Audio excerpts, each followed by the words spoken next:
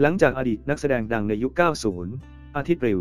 หรืออาทิตย์ตั้งสวัสดิ์รัฐที่ได้ออกมาเผยเรื่องราวชีวิตอันยากลำบากกลายเป็นคนไร้บ้านนอนข้างถนนอีก ทั้งยังเจอมรสุมถาโถมเข้ามาอีกนับไม่ถ้วน ซึ่งพอมีข่าวแพร่ออกไปทำให้ผู้คนต่างส่งกำลังใจไป ถึงเจ้าตัวไม่เท่านั้นเหล่าคนในวงการบันเทิงต่างยื่นมือเข้ามาช่วยเหลือกันอย่างมากมาย ล่าสุดทางวันบันเทิงได้แชร์ความน่ารักของนางร้ายตัวแม่อย่างเป้ยอปานว่า ที่ตั้งใจส่งของใช้ส่วนตัวจำนวนมากอาทิเช่นกระเป๋าหมวกแว่นตากันแดดและอื่นๆ ให้กับเจ้าตัวเพื่อที่จะนำไปใช้หรือไปขายต่อก็ได้ ซึ่งหลังจากเจ้าตัวเห็นของที่ทาง เป้ยอ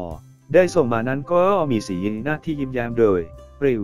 ถึงกับน้ำตากลอก่อนจะเผยความรู้สึกที่ตื้นตันนี้ว่า น้องเป้ยอปานว่าพี่ริวไม่เคยเจอหนูเลยขอบคุณนะ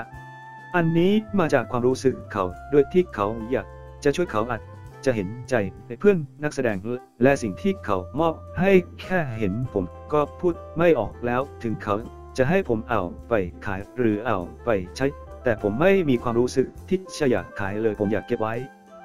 ภาพจากรายการวันบันเทิง ขอบคุณมากนะครับ น้องเป้หยอกขอให้ชีวิตครอบครัวและชีวิตหนูมีความสุขคิดสิ่งใด ขอให้สมความปรารถนา ขอให้หนูมีจิตใจที่เบิกบานมีครอบครัวที่อบอุ่น และมีลูกที่น่ารัก และขอให้ปลอดภัยในทุกๆที่ที่หนูเดินทางไป และยังบอกด้วยว่า มีกำลังใจสู้ชีวิตครับอย่างน้อยตัวผมเองก็ต้องสู้ ถ้าเราไม่สู้แล้วใครจะสู้เพื่อเรา อีกทั้งยังฝากถึงทุกคนไว้ว่า ขอเป็นกำลังใจให้กับทุกท่านในการใช้ชีวิต ทุกคนอย่าไปยอมแพ้กับชะตาชีวิต เพราะชะตาชีวิตเราเป็นคนกำหนดเองนะครับ